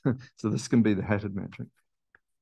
Okay, and so with the original metric, I had sigma, mu, and rho. Okay, so metric G, metric G hat. How are they related? Well, there's a transformation, you know, so it's sort of the identities here, but then you get minus epsilon and epsilon and a half a half epsilon squared or something like that. So it's mixing up these components to get it in the new metric. And that that has this filtration structure. So this is an invariant subbundle, you know, just this, the bottom slot. So if this was zero, zero rho, then it's invariant. Um, or if you have zero in the top slot, that part, that's an invariant subbundle. Um, but altogether, the things mix up by that action. Any other questions? So anyway, there's a there's a sort of these formulae give you a practical way to calculate, and um, you know it, it's sort of algorithmic and, and quite simple. Okay, now very important also. There's a second order operator um, that we call the the Thomas operator, um, because again, Tracy Thomas had written this down. So if you act on densities of weight W, so here's the density of weight W, it's just some numbers times the density to do with its weight, the dimension plus two times the weight, blah, blah, blah. Some, the, some of those numbers again times the derivative of the F, that's the Levi-Civita connection acting on the densities, and then some Laplacian term, right? now, this is conformally invariant meaning it transforms again by this nice formula, right? That's the hallmark of conformal invariance. um, so this is a conformally invariant second order operator that, that will be important. And it's closely related to the connection. So this, this maps to maps the to section of the weighted. Yeah, sorry, that's right. It takes a density and lands in a weighted tractor bundle. Yep. Oh, and by the way, if instead I'd What's that? Weight one less, actually. One less. Now, if if this had had a tractor index or some tractor indices, it still works, but you use in here the tractor coupled connection. So yeah. All right. Now, that D operator is closely linked to the tractor connection. Um, so here's the formula for the tractor connection. So what does it, what happens if something's parallel, right? So we should look and see what it means, right? Well, if it's parallel, then this first slot vanishes. So, so mu must be the derivative of sigma. also, the trace of the next slot vanishes, and that means that rho is then forced to be minus that. So in other words, if it's parallel, you have to be in the image of that Thomas operator on densities of weight one, right? Automatically. So that's partly where the Thomas operator is coming from, if you like. But also we can harvest some other things, right? Because if we have a parallel tractor, then, then if it's not zero, then that means that this density at the top must be non-vanishing on an open dense set. Why is that? I saw some nodding. It, it, it's in the image of a differential operator, right? So, so if it's parallel, it has to be in the image of a differential operator. So imagine it vanished on a, um, a little open set, right? Then, then this I would have to be zero on that open set. But if it's parallel on the whole connected part of the manifold, it would be zero by parallel transport. So, so if you have a parallel section, suppose your manifold is connected, then it's not allowed to vanish in open sets. So it must be non-vanishing on an open dense set, right? So, so um, okay, so that's super important. Um, and also, where it's not zero, where sigma's not zero, then you automatically can make a metric by taking sigma to the minus two of the conformal metric. And actually, it has to be Einstein. So, so if you have a parallel section, right, which is this is an overdetermined thing. In general, you won't. But if you do, then then the sigma to the minus two of G must be Einstein. And that's basically defining where this connection comes from, right? It's coming from a conformal to Einstein equation. So how, so how do you see this statement? Well, um, so, so, where, so where sigma is non-vanishing, that's a shorthand for that, then plus or minus sigma is a positive section of the densities of weight one. because the tractor's uh, sorry, because if we work in the scale of that metric, right, so the one that is determined by sigma, then remember sigma will be parallel for the corresponding Levi-Civita connection. So mu will vanish. Okay, so mu will vanish, and this equation up here of parallel transport will simplify to just saying that um, sigma times Schouten plus rho g is zero. Or if you divide by sigma, it'll say Schouten is proportional to the metric which is Einstein, right? In, in this sense, non-source, no source. Um, what is capital? Capital D, D. This is this Thomas operator. So, yeah, yeah, yeah. So capital D is that thing there. And that'll come up a few times. So, yeah. But actually, this formula is that it's a zero, one, yeah, it's it's order two altogether. So that's right. So it's it's zero, one, two. Yeah, yeah, yeah, yeah, yeah, yeah. Okay, and then going the other way is easy. So so this is you know, and this is because really, if you like, another way of getting the tractor connection, it comes from prolonging this equation. This is the conformal to Einstein equation. You know, so this overdetermined PDE um, means that if you're on a manifold and you can solve this for a non-vanishing sigma, it means that you can rescale by sigma in an appropriate way to make the metric Einstein, right? So, so this is just the conformal to Einstein thing. And if you prolong that, that's the other way of getting this tractor connection. So, but of course, you know, when you're talking about Einstein metrics, you should never let sigma be zero because the way we're getting the metric from, from things is by sigma to the minus two. So of course, it'll be sing singular if you allow sigma to be zero. So you should never let sigma be zero.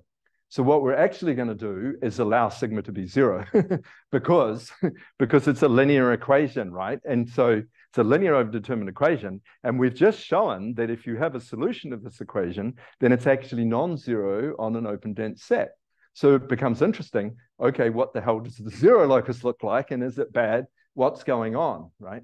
And, and actually, you know, it's a good story. So um, so you should do that. okay, so in particular, then let's let's start to answer that question, right? So, so you get a canonical stratification. I'm going to start putting a picture on the board because uh, the old story about a thousand words certainly applies here. This is very simple stuff, but uh, words can make it look not so good. But basically, suppose you have a parallel tractor.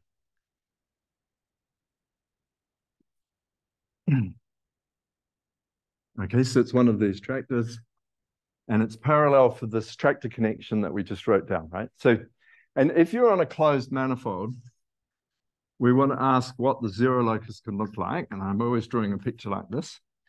okay, let's just think of Riemannian signature at the moment, but this will apply in all signatures really. But okay, now suppose for simplicity that that that IA, IB, um, HAB. So we have this tractor metric, and I'm going to contract those, and I, I usually call that I squared, right? that's just notation. But suppose that's not equal to zero. Okay, just suppose it's not equal to zero then what this is saying is that if you have such a parallel tractor, then you may get a zero locus of the sigma, but it has to be a, a smooth separating hypersurface, right? It doesn't have to be connected. it could be, it could be, you know, smooth and separating and not be connected. But it has to be a smooth separating hypersurface. It's just forced. Okay, and it, it's actually almost trivial. And we'll sort of look at this analytically uh, tomorrow. And when I say analytically, it's really undergrad maths, right? It's really easy. Um, now, what's I squared not equal to zero mean? Well, we'll also see tomorrow that, that I squared is basically the scalar curvature. So, so I squared is um, sort of minus the scalar curvature of the metric that sigma determines um, divided by some numbers. Okay, so up to sign. So if I squared is positive, that's negative scalar curvature.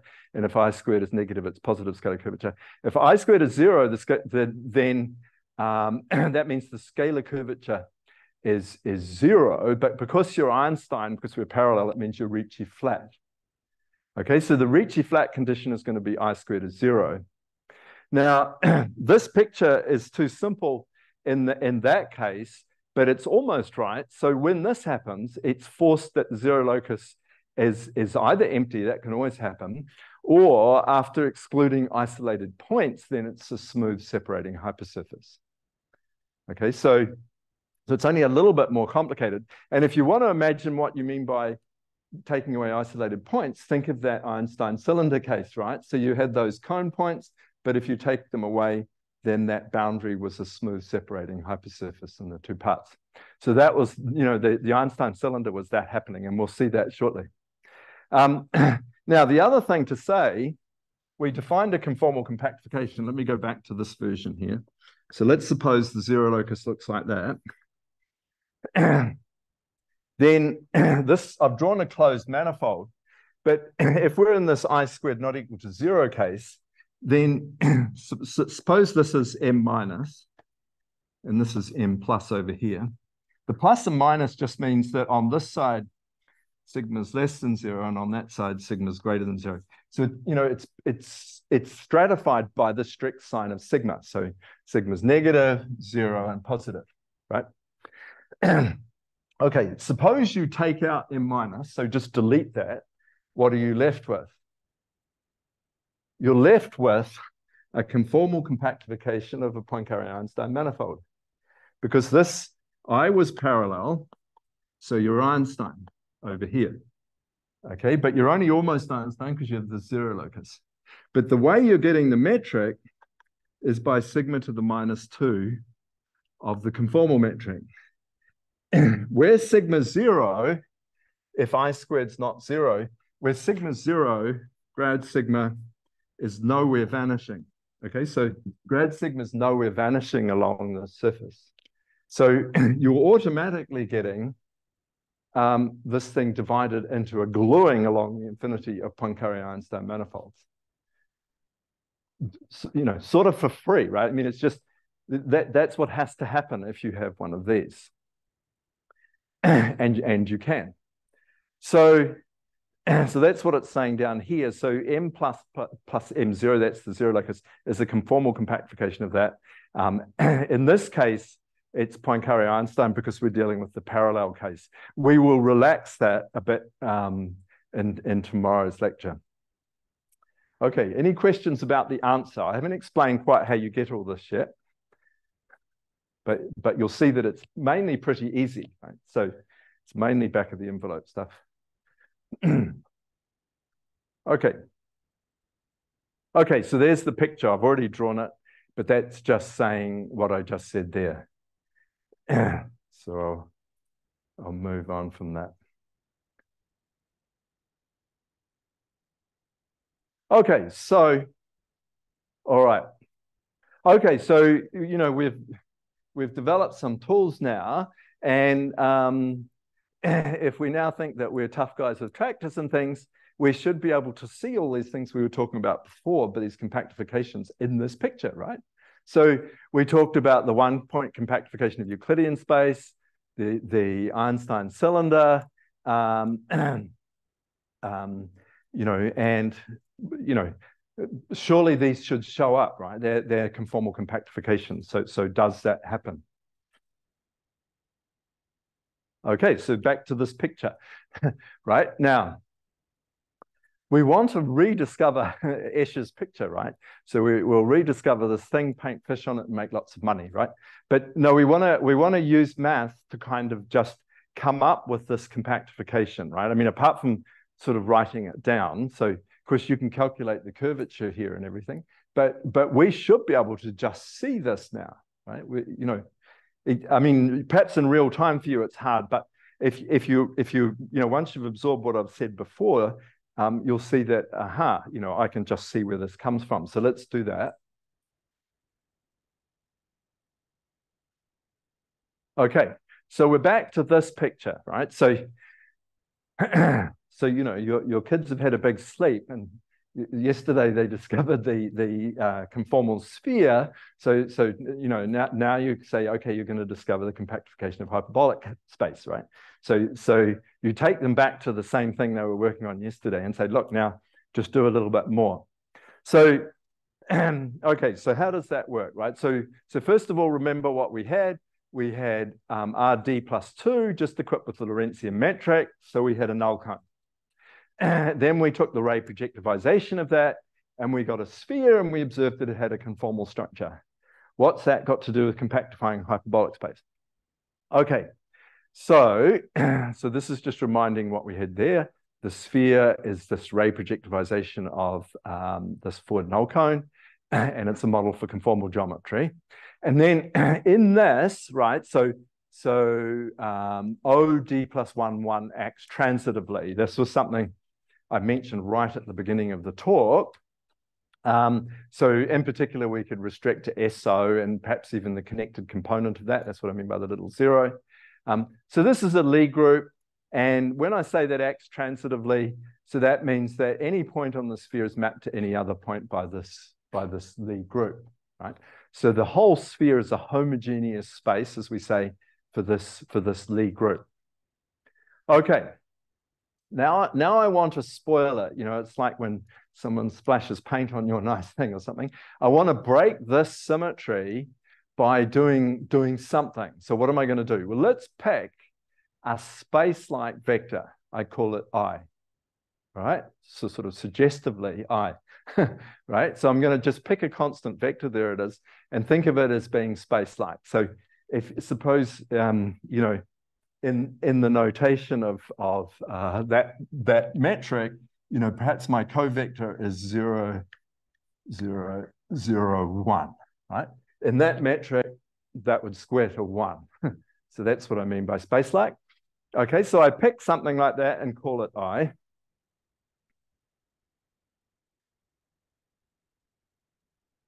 What happens to my picture, right?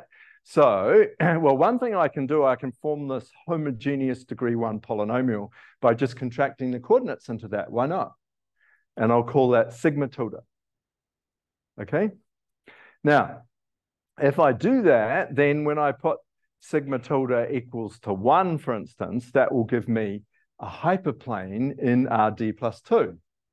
That hyperplane will intersect the cone. There I've got it with the dotted line. Or I could put it equal to zero and it'll intersect the cone and I've got the dotted line. Okay, what's the geometry on the zero one? You will know this. It's the same. It's just one dimension down, right? Because I'm doing a ray projectivization. This is this dotted line is really a cone of one less dimension. So it has a conformal structure and it's on the equator there, right? On my sphere with its conformal structure. What about the section one? What does that have? Hint, the, the ancient Greeks knew this. It's a hyperbolic section, right? It's a hyperbolic metric, right? So, so, so this, if you, you know, work it out, that gets induced the hyperbolic metric. But actually, this is the conformal compactification of hyperbolic space. So you can you can play around with this picture and see that, well, there's various ways of doing it. Okay, so from the tractor point of view, this I is constant. The tractor connection came from affine parallel transport.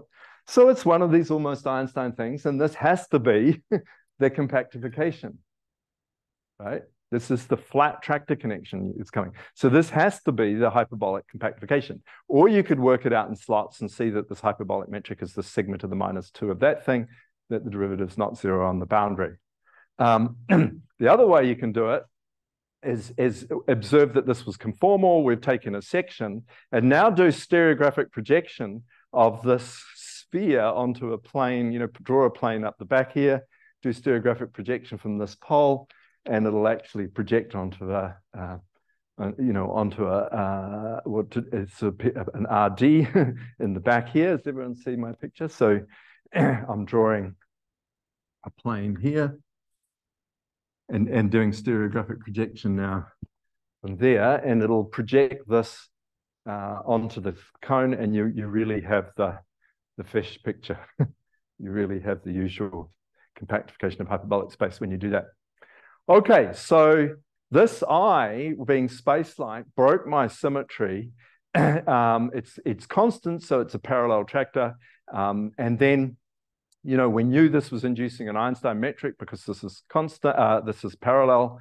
Um, it's length squared telling us the, the curvature because the length squared is positive, the curvature is negative. So you see that it has to be the hyperbolic metric. So there's all sorts of ways of understanding it now. um, and this is the conformal compactification of hyperbolic space. So we've, we've rediscovered that. okay, now we, we, you know, as I say, we're, we're at a GR conference, so we should talk about something with more signatures. So look at that now, this other picture. So we start off with this, and you know, this bilinear form where we have two minuses. I've still got it here. Um, and then, as I said before, now the quadric is not a cone, but it's a, um, it's a, its ray projectivization is S1 cross Sn. Now the group acting transitively is SOD comma 2. Um, and then but everything else about the picture is sort of the same. You pick up, you pick one of these constant vectors, it'll correspond to a parallel tractor. If you pick one with i squared equals minus one, that's going to correspond to positive curvature because of the sign difference, right? So, so i squared negative is positive curvature. So you, you know, it's going to divide your S1 cross Sn into two parts, each of which is Einstein with positive curvature. So this is two, two copies of De Sitter, and you get their compactifications by the separating hypersurface. um, if I squared is zero, um, then you're going to get two copies of what? Well, it's Einstein and Ricci flat. So it's two copies of Minkowski space um, conformally compactified. And this is giving you the Einstein cylinder, but now with the endpoints joined up. So it's an S1 cross Sm. And then if I squared equals one, um, it's two, now got negative curvature, so two copies of anti-de Sitter space. And you can see that this, this I is freezing off different parts of the group. So, you know, um, if you take I squared to be negative, then um, I is, uh, is sort of time-like, so it's freezing off one of those so SOD2 goes down to SOD1. That's the group that's preserving the new structure. And then if it's null, you get a Poincare group, and, and otherwise the other case. Okay, so um, so now over to Jarek. Do you want to come down, Jarek? so so Jarek, you know, to to um, sort of put it in familiar terms, just you know wrote this in coordinates. So so now we're doing R6. We're trying to land in four dimensions. So here's this metric with signature with the two minus ones and the rest of the the pluses. um, now, if you introduce sort of polar type coordinates, um, you get a S3 metric, and then he's using sine and cos for the for the two these two bits, the, the two negative bits, and then the, this this metric looks like that, right? So, so um, if you, sorry, if you if you restrict to the cone, right? So the cone is now going to be little r equals big R in terms of these coordinates. So little r coordinates on the on this positive bit and big R on this negative bit. So the cone is where little r equals big R. So the sort of dr squared cancels with the the minus dr squared cancels with that. So you get this degenerate metric on the cone. Um, and then you can look at what that gives you for each of those slices.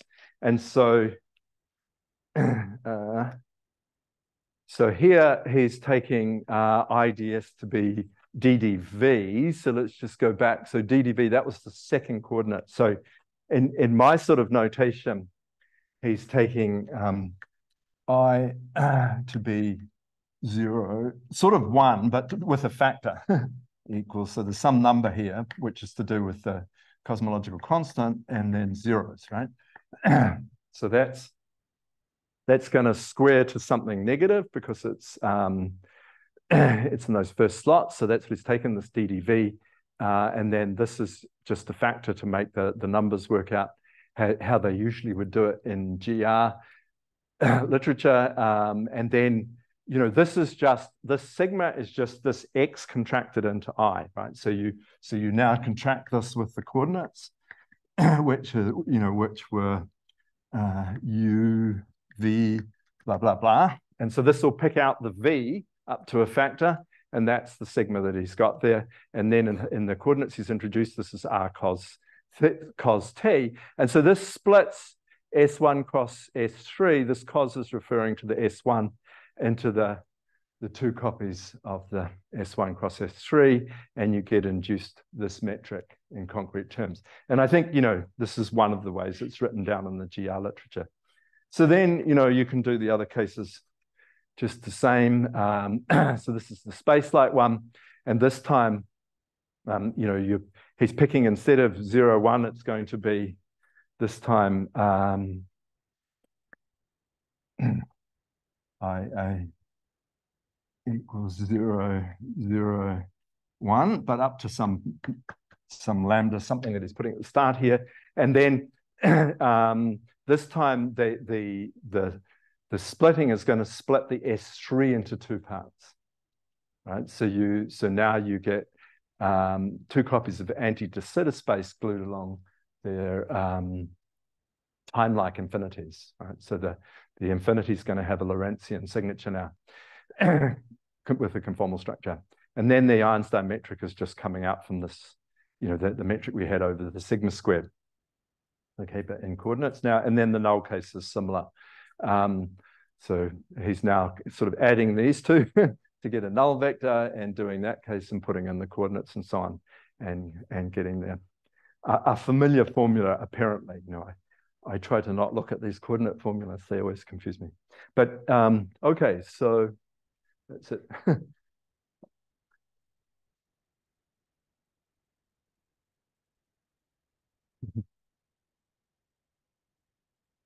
More questions? Hmm.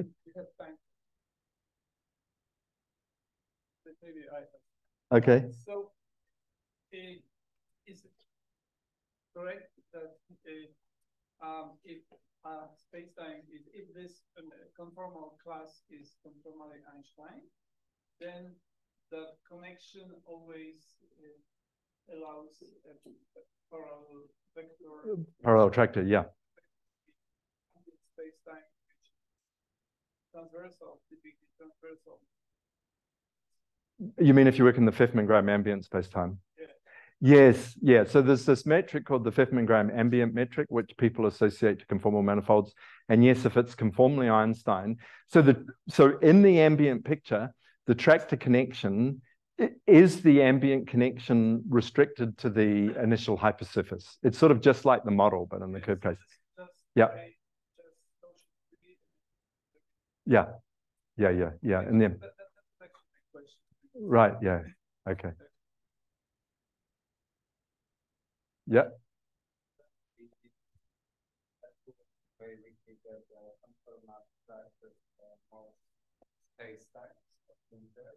Does what? Uh, okay.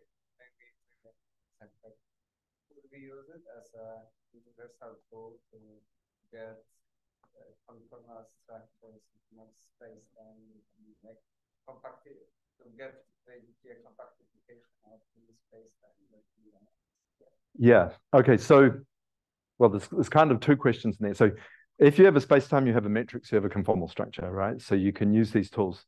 Um, so, um, but if if if it has or you want a conformal compactification, yeah, it, it's it's sort of the or a right tool. You know, there's fine print to this. You know, like there's lots of lots of things to say about this, but but basically, yes, yeah, it's it's the right thing. And I I'll, I'll, be continuing. So a lot of the talk will be about compactification, but I'll also in the last lecture talk about another way of of compactifying space times, which is by projective compactification. So um, so that's using, instead of the conformal structure, you're using the geodesic structure of a Riemannian space.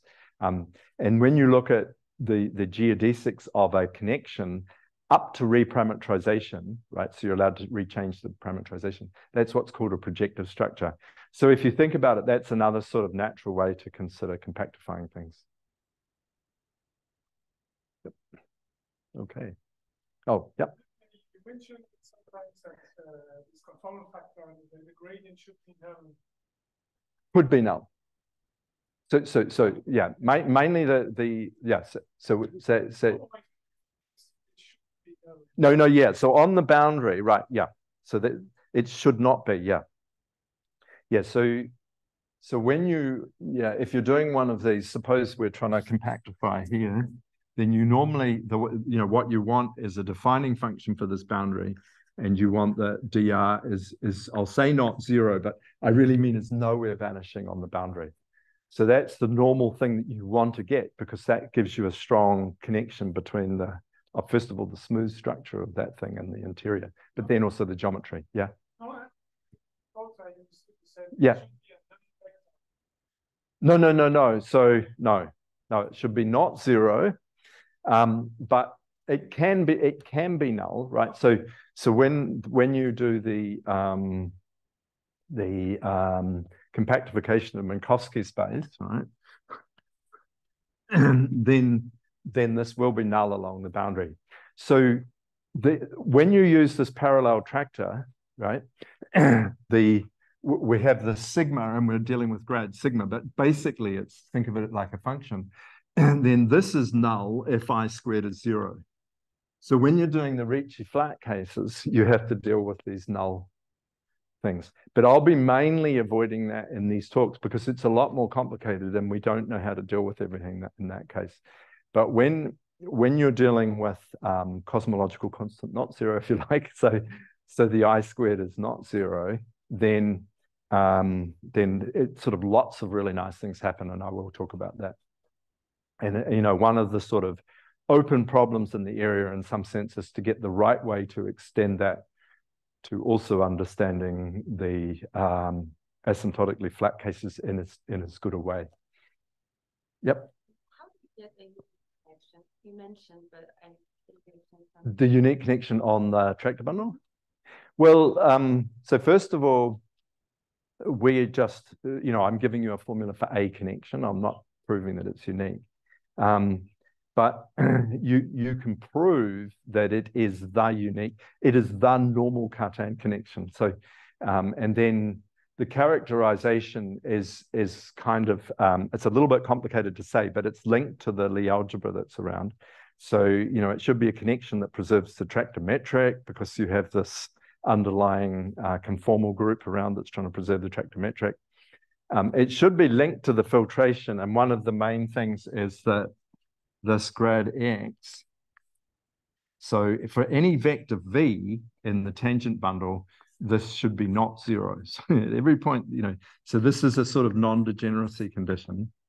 Um, so there's, if it preserves the tractor metric, um, it has this property and the curvature of the tractor connection. So I haven't told you what that is, but it has a curvature um, then this should satisfy a, a Lie algebraic homology condition.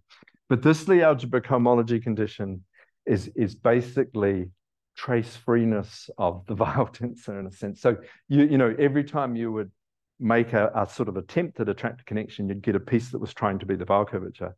Um, and the ones that had trace-free Weyl curvature would be the normal ones. Yeah. Um, it's it's the Lie algebra cohomology coming from um, a part of the conformal group. Yeah, so it's coming from part of the parabolic, basically. Yeah. Dull, yeah, Dullstein. I, I, you know, if anyone wants to know in detail, I can explain this later, but it's, yeah, a few steps. Okay, seems it. Thank you, guys.